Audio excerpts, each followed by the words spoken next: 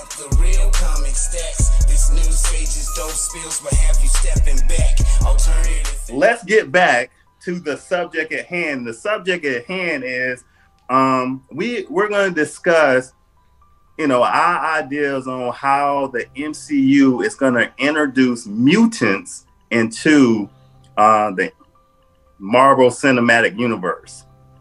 You know, some ideas on that. What's your thoughts?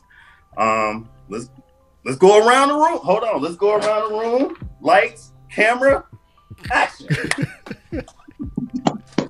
Wait, who wants to go first? Ladies first. Okay, because I said I was ready. I already, I already knew what I wanted to say as soon as you opened up the discussion. So I'm so with a love triangle action movie. I want Black Panther and Storm and Logan. That's what I want. I want that story. I want that story bad. I want to see it played out. Hmm. Okay.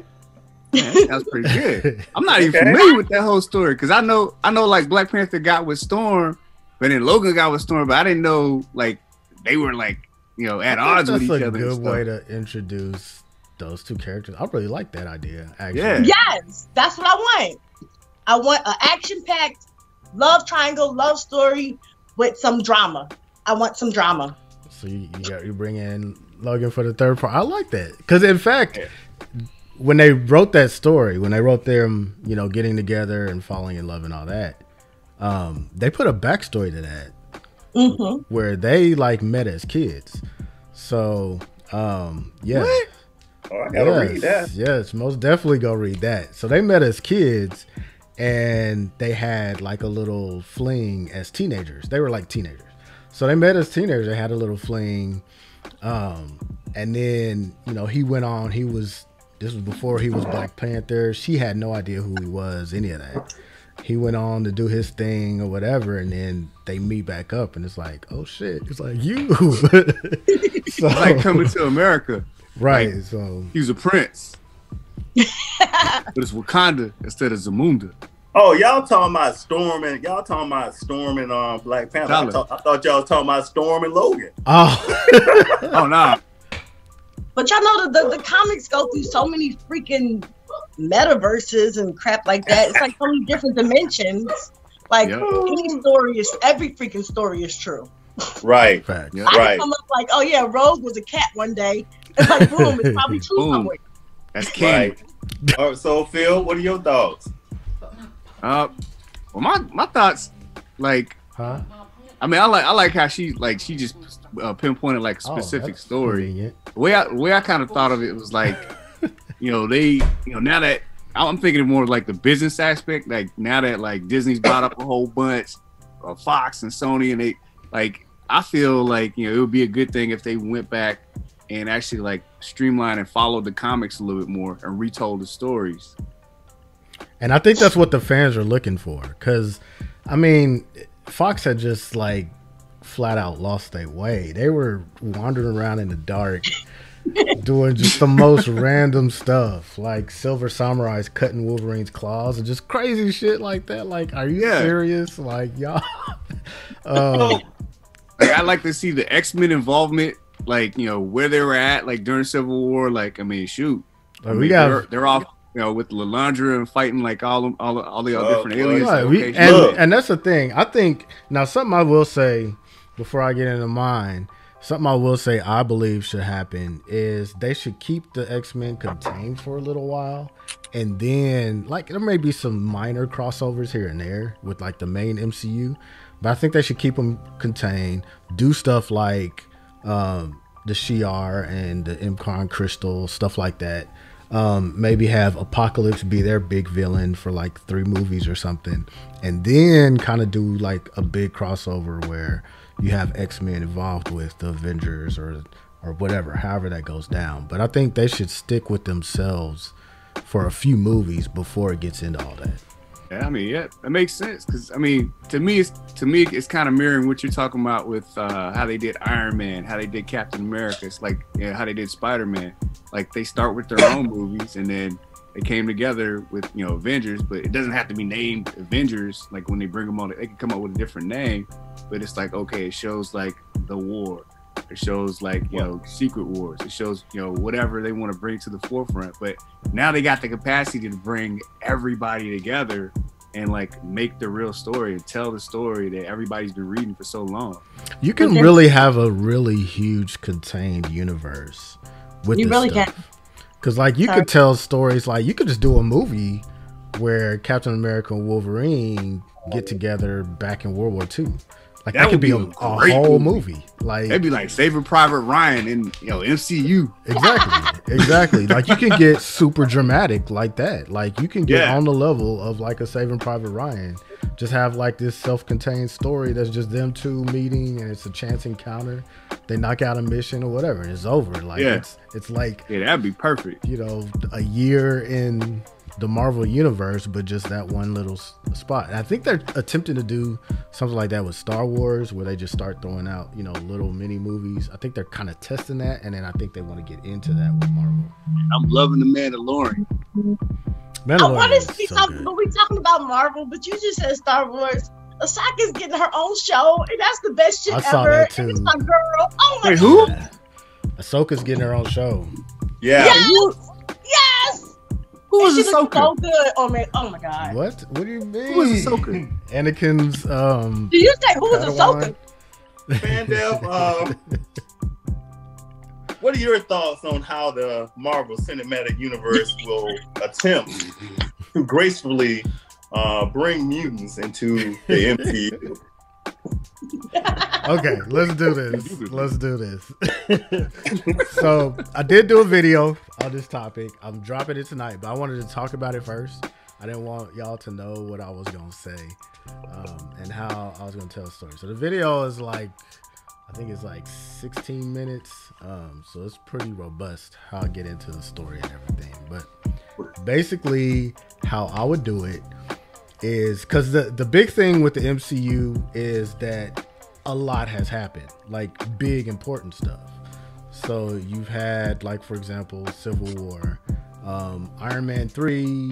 Um, there's a lot that happened there, like with all the armors and stuff like that. You have the Chitauri invasion and Avengers. Um, you have fighting Thanos and all of that stuff that's happened. The snap and everything. So there's you're gonna have to explain why um, there's this group of individuals with powers that just all of a sudden show up. Um, so for me, um, what I believe they should do is have what's sort of like a mutant Illuminati. Um, so going back in time, if you think about the X Men cartoon, I think everybody's old enough to have seen that. Um, but the X Men cartoon, it showed a little bit in like the second or third episode of Magneto and Xavier meeting like as college students or something like that. but I think they should do something like that. Like they get together, find out each other's mutants, and believe themselves to be the only two for a while, and then find out that other mutants are out there. And fast forward in time, um, you get a group of mutants, um, powerful ones, wealthy ones, uh, mutants like uh, Apocalypse, Magneto, Xavier. They both have money. Um, the Hellfire Club. So you have, uh, you know, Sebastian Shaw, um, and like like White Queen or whatever. Like you get all these like wealthy mutants together, Mister Sinister, uh, characters like that, and they have like basically a mutant Illuminati. And what they've been doing is protecting mutants from mankind.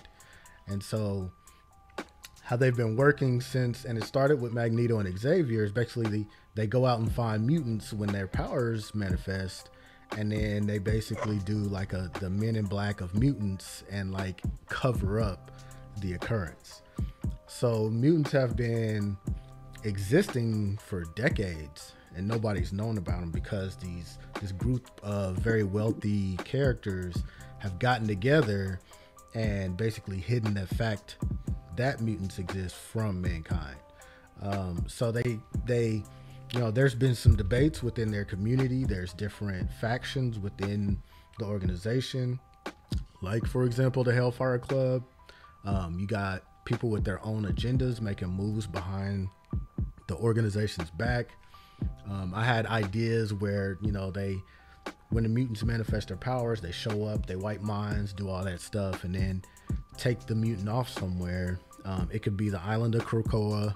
Um, that's one idea I had. Or like Xavier School exists, and that's where they go. Um, especially since, you know, usually it's during puberty when powers manifest. Um, so December 21st, baby. oh shit, It's my birthday.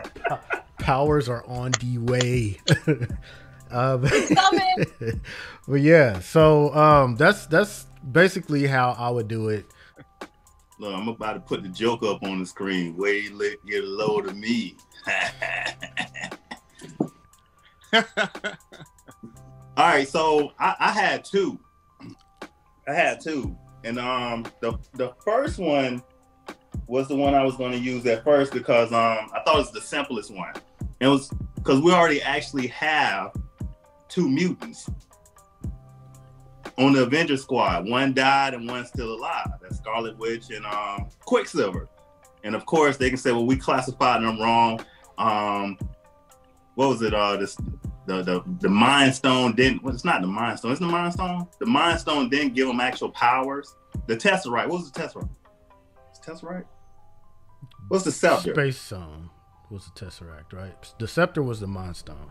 That was Yeah, the so the- stone. Yeah, and Right. So and the and Tesseract that's was a Space Stone. Right. So that's what they was trying to say that gave Scarlet Witch and Quicksilver their powers, but no, it didn't. It just awakened their powers. It was actually mutants. And then Magneto can be coming for his daughter because he found out his son got killed. And I know that'd be like, well, how do you explain where the mutants come from then? I was like, I don't know. They had to figure that out. That was the first one.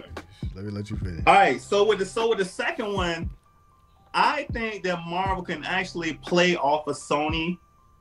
Well, is it Fox, Fox, and what they've done with the, the X Men, the mutants so far? Because all the X Men movies, correct me if I'm wrong, were really set back in the 1970s. None of them was like in the 2000s. Well, the first three were the first. Well, the first few. So all the X Men, the original ones, and then Origins went back to the '90s, I think, and then um, and then there's there's Logan and stuff. What about X Men Apocalypse? So Apocalypse. So f- starting with First Class, they come they go back to like the late '60s, early '70s. Yeah. Right. So I would use those and kind of play off of those.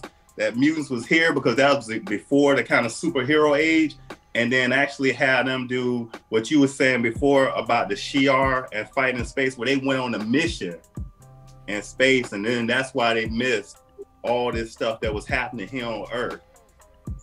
And then once they get back, because they got they got caught up in the snap too. Once they get back, then they introduce them in. Because I guess the other question is too to um if we if we talking about how they gonna introduce the mutants, how are they gonna introduce Fantastic Four? Like that's a powerful team that you didn't use. That's somebody as smart. I mean, Reed Richards is smarter than Tony Stark. So Fantastic Four makes sense because of their origin and just what you were talking about, them being out in space or whatever. So you can even have it to where the Fantastic Four don't even have their abilities yet. Um, Good point. So they they go off into space, and the the X Men are different in that they're born with their powers, and you know they manifest at puberty or whatever. So it's harder to be like, oh, they just they they've been here this whole time. You can't say that, but you can like you can say you know the Fantastic Four, Reed Sue, you know Johnny Storm. They've all been here this whole time. They just now got powers, or they got powers. And they're stuck off in the cosmos somewhere, and they're now just now getting back to Earth or whatever. Right. So I mean, those is my ideas. I mean, however they do it, I'm, I'm cool with it. They, they just need to get the mutant zone up in there. I would love to see Magneto fight the Avengers, the original Avengers, because that would just be interesting. Because I don't think they could handle Magneto full power. Okay. Because yeah. everything, every everything they throw at Magneto, Magneto can technically stop the Hulk. He can technically stop Thor. He can. Iron Man don't have a chance unless uh, Nano. yeah, Captain America, Hawkeye, and the rest of them. I mean, I just want to see that fight and, and a love triangle. between Scarlet Wi- between Scarlet Witch or no Black Widow and Magneto, just for her sake. for that love triangle. For Lil for Lil One to get a love triangle in there between Scarlet Witch, Black Widow, and Magneto and Vision. Lil I'm needs with some help. I'm, I'm so I'm so with it. I want all the love and all the drama. When I became an adult, like I gave up comics for a little bit. So, um, like, there's a big block of time where I didn't I didn't know anything about what was going on. So, uh, when I Don't seem like it. right,